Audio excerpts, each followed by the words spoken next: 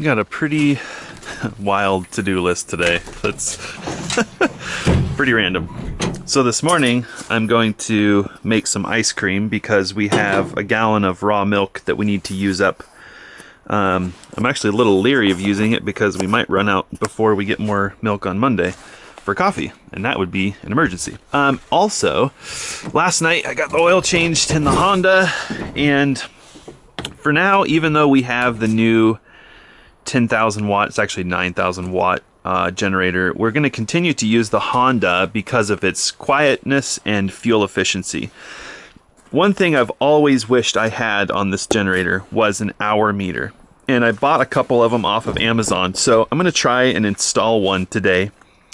And then I also want to add one to the sawmill. Looks like it rained a bunch and then snowed a little last night. Wow, look at that puddle of water. There's some rain. What do you want to bet the garage is swimming in water right now? Oh, fun. Nice slushy. Must be fall.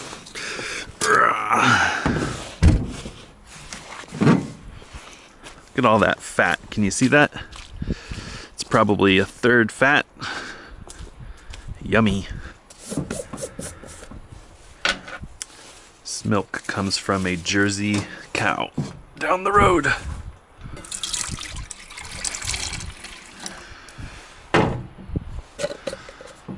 Think that's snow, but it's probably more like hail.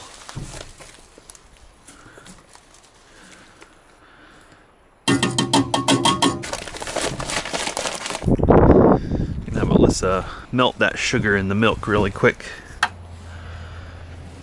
Can you put some heat on this for me? Yep. Ah, there's the ice cream maker.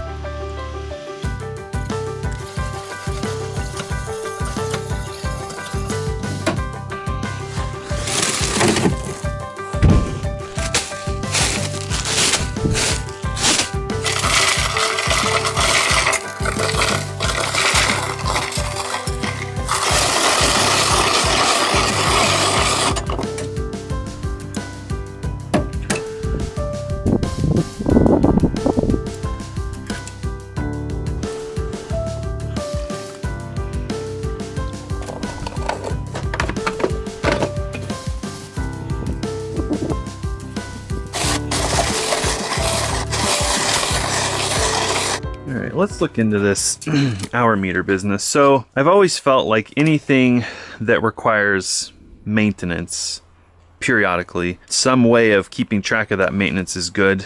And I guess on cars we use mileage, but on equipment you can probably use like the date, like once a year. But with our generator, man, the usage could be nothing, you know, for a week or two, and then it could be every day for a month. So an hour meter, I guess, for something so expensive. In fact, I've seen this feature on generators a third this price, so I guess that's a hint to Honda that you might want to do this. The idea with this one, I saw some hour meters that used like kinetic energy or whatever, I don't know what the word is, but they had some sort of sensor in them for oscillation. So whenever it starts vibrating, the hour meter starts working. The bad news is I've seen uh, complaints that those, when you put them like in the back of a truck or you know you're transporting them, that same vibration will make the hour meter count. So I went with one that uses, I think, induction.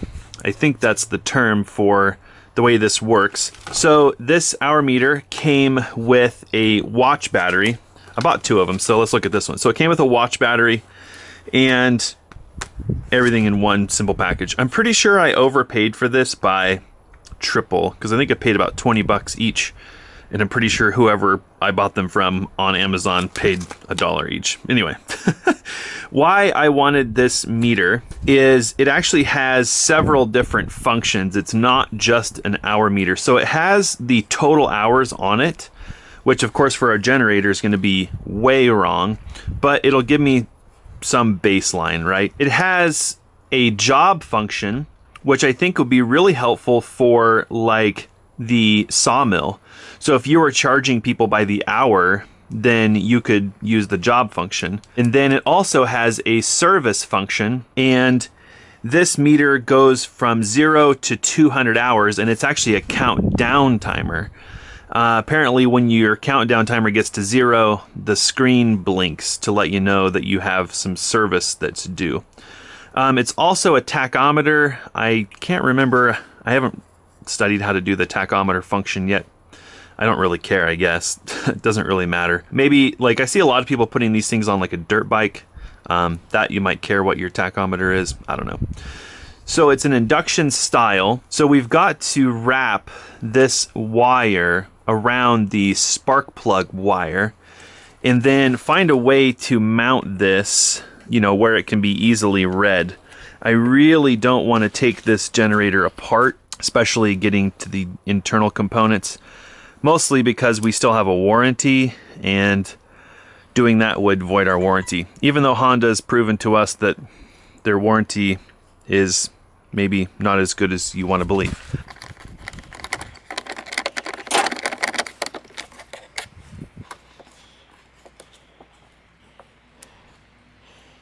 I don't know how I get myself into these situations. And when I saw the instructions that you're supposed to zip tie this on, I thought, right, totally makes sense. You think I'm gonna, I don't know, seems like a joke. Zip tying to a combustion engine that vibrates seems like a really stupid design. So it's time to go back to the drawing board and find a better way to hold this wire in place. And of course, in this situation, the access to this wire is ridiculously cramped. So, time to do some thinking. Well, I used one of the zip ties and just zip tied the end of the, the coil to the next strand, kind of to lock it onto the wire. And then I, I bought some of these kind of Velcro straps for organizing cables and things. and I used one to just kind of wrap around that. I don't know. Sure seems like it's gonna just melt, but I guess we'll figure that out. All right, so that's back on there. It does look like there's a little bit of stress fracturing on the the boot for that spark plug cable though just from heat probably. Um, let's see. So routing this cable, I'm sure with Honda that's going to be a really tight fit. I guess a part of me thinks I probably should have routed it through one of those vents, but I'm pretty sure it gets pretty toasty in there. Hmm. That's looking really good. And then to find a place so this handle flips up so needs to stay out of the way of that handle See, and even this is a handle. So you really don't want it there. And I think the generator cord plugs in here. So I'm almost wondering if like on the side might actually be a better place for it. I love tinkering with stuff like this, but the thought of tearing this whole generator apart. actually, let me back up. There's an entire industry of people who love hiding cables. And uh, I think it's really fun, but it's not what I wanted to spend my day doing today. So um, we'll have to find just kind of a short-term solution and then we'll, you know, see you don't want it over here by the pull cord. So that doesn't work. uh, probably don't want it crossing the exhaust. So maybe something like that could work. Then it's not really in the way of anything. And I don't know what I could use to hold all the stuff down. I was thinking like even just like clear silicone in this area just to hold the wire there. But I guess we should make sure it's gonna work first. So let's start the generator.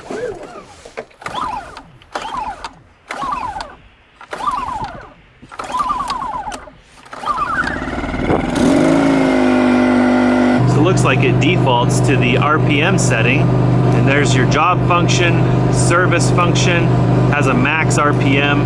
Um, these are some of the internal settings. And you can adjust the number of sparks, the number of times of revolution, etc.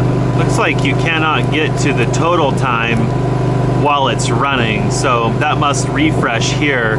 Well, oh, I think that's a setting. Yeah, so that's actual RPM. This is job, service, maximum RPM warning is 8,500, which is ridiculous. I don't really care about that. This is a log of the maximum RPM on something. You can reset that, or maybe it resets every time you turn the thing off, I don't know. This is one spark per revolution, and that was the refresh rate. So right now it's refreshing every half a second. I guess I don't really have a genius idea. Could probably run somewhat neatly right up through there. I guess I'll work on that and you may never find out what I did. but then we need a place to put this. This doesn't seem like it would be in the way. I'm worried if it goes on the side and it sticks out, it might get bashed. So I guess I need to work on that. But I guess the good news on the generator specifically, we now have an hour meter. Let's see if when we turn the generator off, we get like a total hours.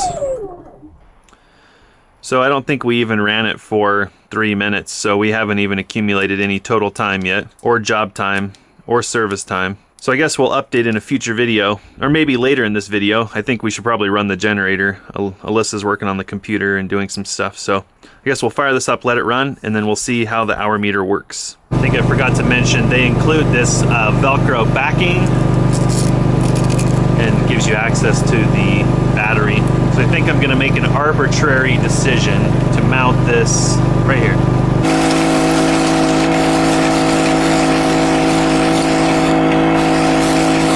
So what makes the sawmill difficult is that the engine is stationary?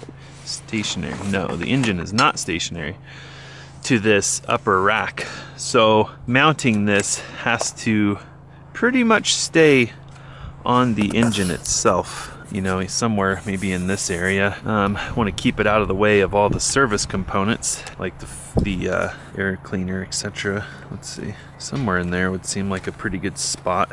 Then maybe I can tie this back to that cable. Then again, not going across all that seems like a great idea. See a pattern here. I'm not a fan of afterthought design. It really irritates me when I have to like run hodgepodge cables all over something suppose that's probably why I don't ever do this stuff. I think that'll be okay. It's not in the way of your hand. This cover probably rarely needs to come off. I think that'll work pretty good.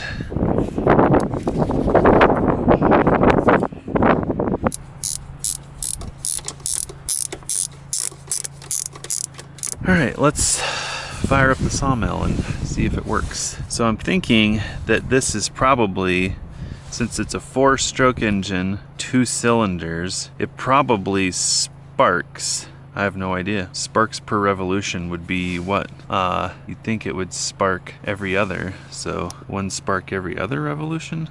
Oh, guess I should have checked this meter before I even, oh there we go. So two sparks per revolution, one spark per every other revolution? Hmm, let's try that. Probably ought to up my engine knowledge.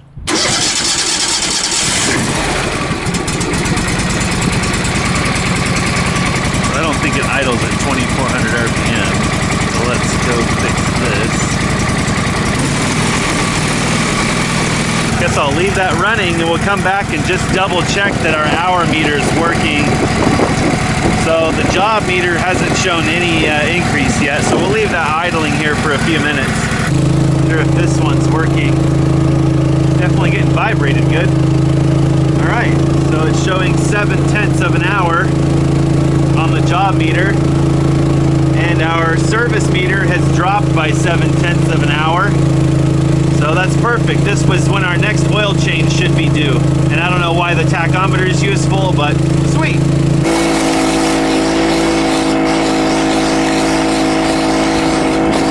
yep. Looks like the garage is soaked. So we installed floor drains right? But we covered them up during rough construction. One, so they don't get plugged with junk and sawdust, and two, our septic's not connected to anything right now, so I guess at best they would daylight out to the footing drains. So for the time being, every time we it rains, until we get the roof on this thing, we end up with a swamp for a garage.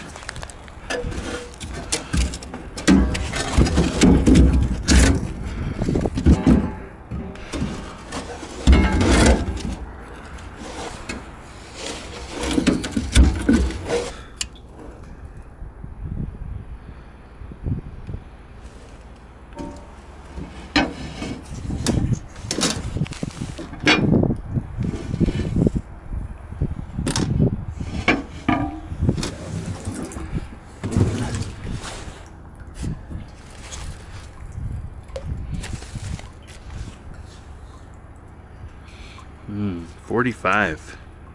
We got 55 degrees to go.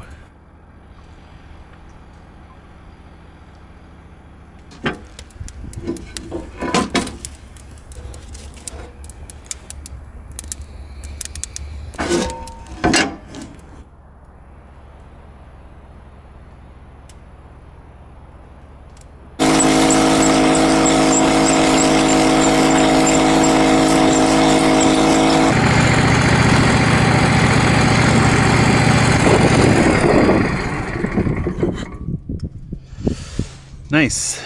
Our meter's working. Um, the thing I did forget to mention is that this meter featured a backlit display. Honestly, probably not going to be sawmilling after dark, but I thought it was just a nice feature. That way, if it's, you know, hard to see, you can see.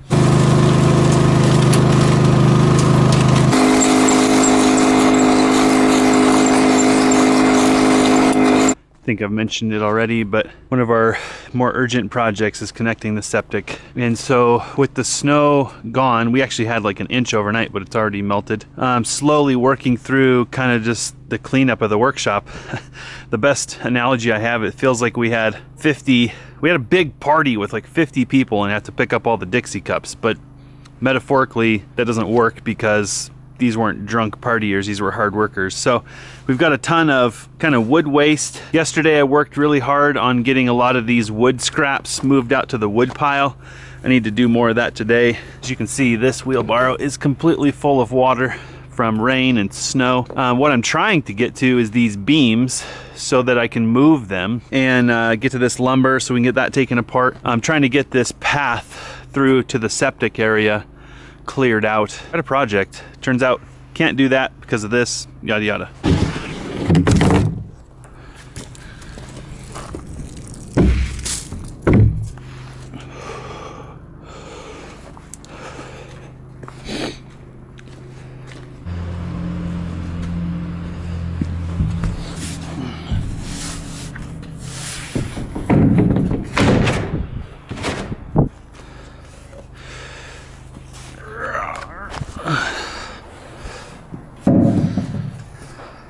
Scarf family is getting to be pretty big.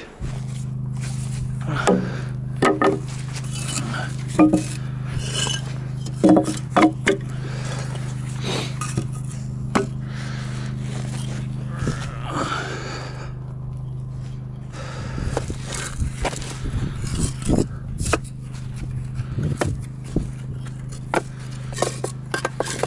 think I can speak fairly for Alyssa and I and say that the workshop was basically a whirlwind.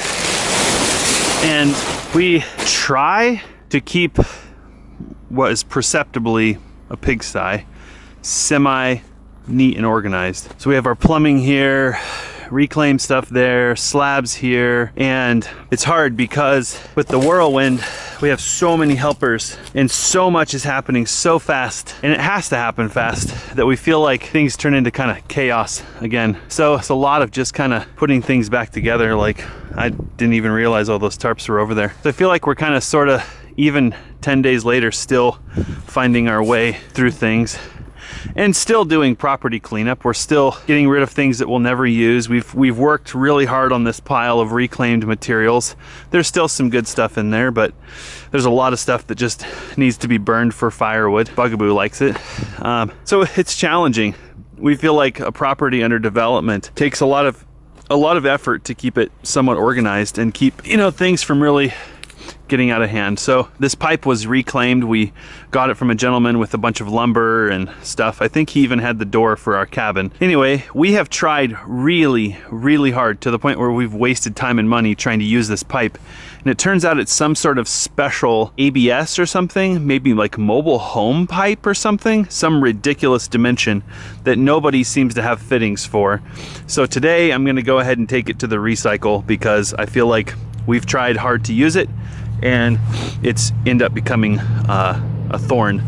The other thing that's super frustrating, we had all of our slabs. These are pine slabs that we had made with our chainsaw mill.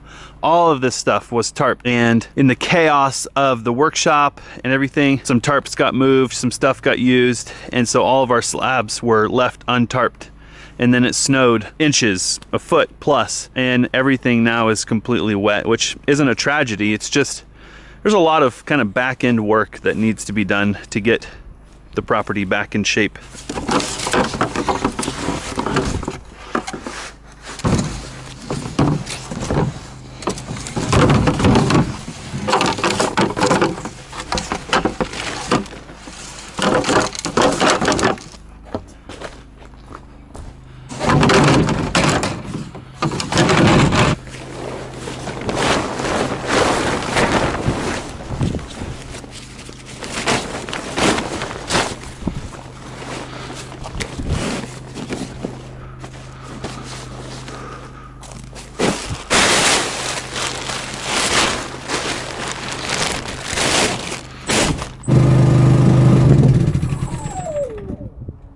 Hour meter's working.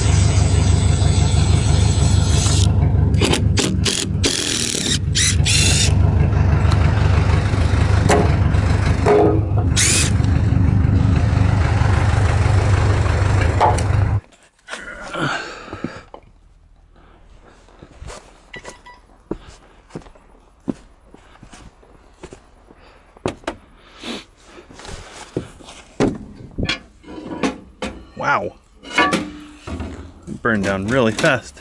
Uh, let's see if any of this wet wood will burn. I doubt it. Well, let's see what happens. That's why we built this thing. Waste wood incinerator.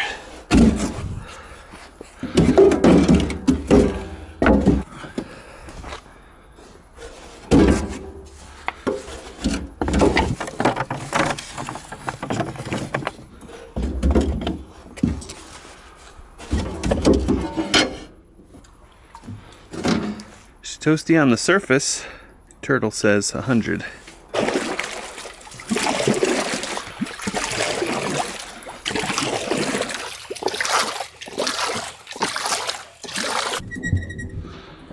Back in there, Mr. Turtle.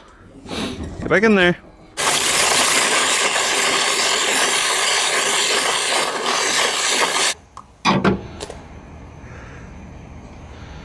Mm, close.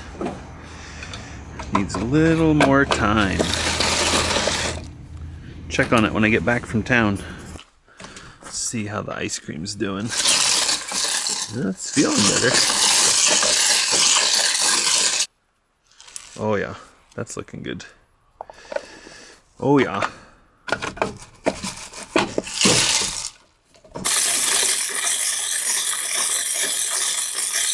Oh boy, is it ready?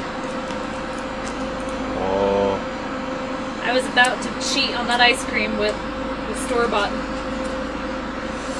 you're gonna want to see this. Ooh, do you want to lick that? Ah! Look how frozen this is. Did the salt help? Oh yeah. That's what was missing. I had, didn't have enough salt.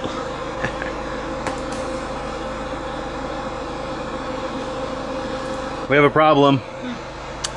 I only have nine pints cleaned, Okay. and there's still at least a pint. you can fit a pint in my belly. Oh. No problem. There we go. Okay. Problem solved.